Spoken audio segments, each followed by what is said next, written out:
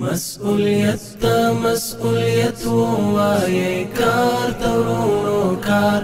ظلم مکی نئی قرار ظلم مکی نئی مولوی حبیب الرحمن منصور معین امور اجتماعی و کلتوری شروری کابل به خاطر انجام مکلفیت ها و مسئولیت های مشترک شهری از رئیسان شوراهای وکلای گذر نوایی بیستدگانه ابراز خرسندی و قدردانی کرد. معین امور اجتماعی و کلتوری شروری کابل گفت وکلای گذر اخیرا در تحقق برنامه ها و پلان های شهری نقش مثبت انجام دادهاند. خصوصا برای آبیاری و حفظ ساحات سبز پاکی و صفایی محلات و تطبیق خوب پروژه ها با شروری کابل همکاری خوب داشتند د هغو ټولو کارو ورنه مننه او تشکر کوو.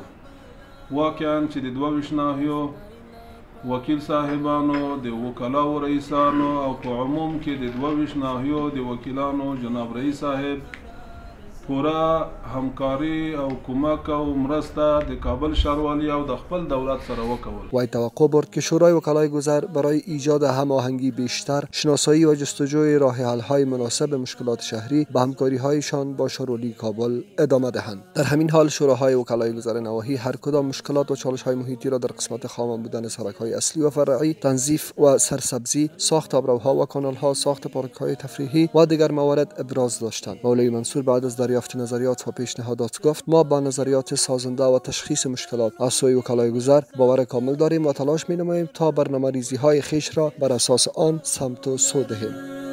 مونږ له دې ارمانه زر کړل شاه زلمي لښکر لښکر ورته زیر شاه په هنر.